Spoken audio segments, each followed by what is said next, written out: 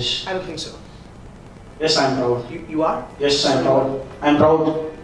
I'm proud of my father. Then talk like you're proud.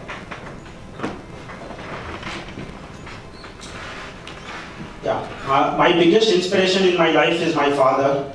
So he has taught many things in my life. So I want to share three things. First is work-life balance, how I need to do, uh, how I need to manage the work-life balance.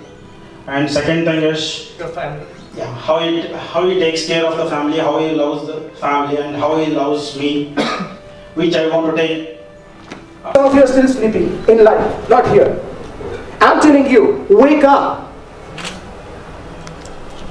Wake up for yourself, for your family, for your community.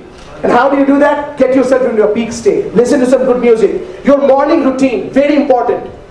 Most people's, most Good evening, friends. Uh, Abhishek Jha signing from Bombay. This is my fearless communication video. What what a week! I mean, uh, you know, uh, looking at your innermost fears in its eyes, and then deciding to confront it and conquer it. It has been a rock star of a week. I mean, I I stood up for a female colleague of mine. I finally went up and spoke to my super boss and I asked him, What's up? what you doing? I visited a dentist, uh, got a couple of my teeth fixed.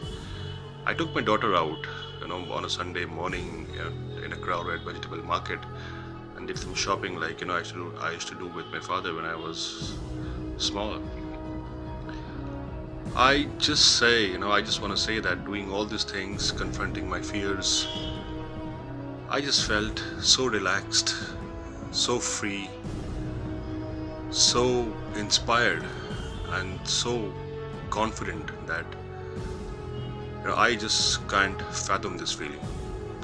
Thank you very much, Bishal, for making me do this, and thank you very, very much for actually making us all realize the importance of conquering our own demons and doing this on a day to day basis.